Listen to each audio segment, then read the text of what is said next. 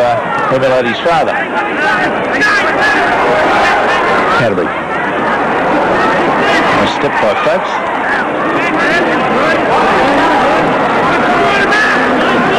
20 yards out now, Steve Mortimer, the blind, turns it back. Nice inside the Chris Mortimer, he's made the gap.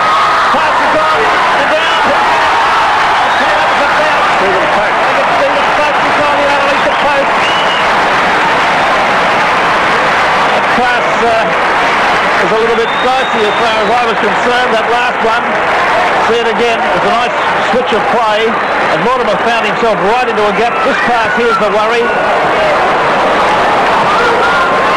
It went, in my view, a fraction forward, but uh, it's underneath the post, and as they say, look in the papers. Chris Mortimer. There's the gap he saw as he's tackled. Folkes was able to wrestle his way over. Um, Armstrong from directly in front. Easy goal. Now to the ground.